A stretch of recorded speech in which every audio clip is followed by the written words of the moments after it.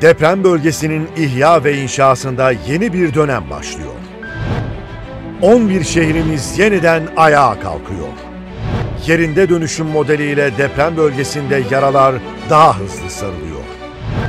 Yerinde dönüşüm modeliyle yerinde dönüştürülecek konutlara 500 bin lira, iş yerlerine 250 bin lira hibe veriyoruz. Konutlarda inşaat alanlarına göre 500 bin liradan 800 bin liraya, iş yerlerinde 250 bin liradan 500 bin liraya kadar 2 yıl ödemesiz, 10 yıl vadeyle faizsiz kredi desteği sunuyoruz.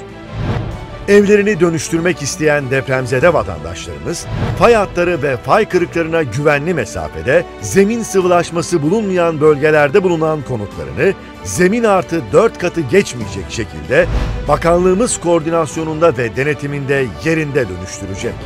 Milletimiz yaşadığı mahallelerde sağlıklı ve deprem güvenliğine sahip konutlarla buluşacak yerinde dönüşüm modeliyle kadim mahalle kültürümüz korunacak, yöresel sivil mimari çeşitliliği sağlanacak, şehirlerimiz tarihi değerleri ve silüetiyle yeniden ihya ve inşa olacak.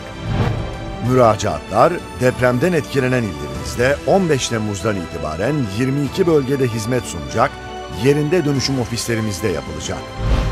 Yeniden ihya ve inşa çalışmalarında yeni bir dönem başlıyor. Yerli, yerinde dönüşüm modeliyle yükselen Anadolu'nun çağı başlıyor. Hayırlı olsun Türkiye.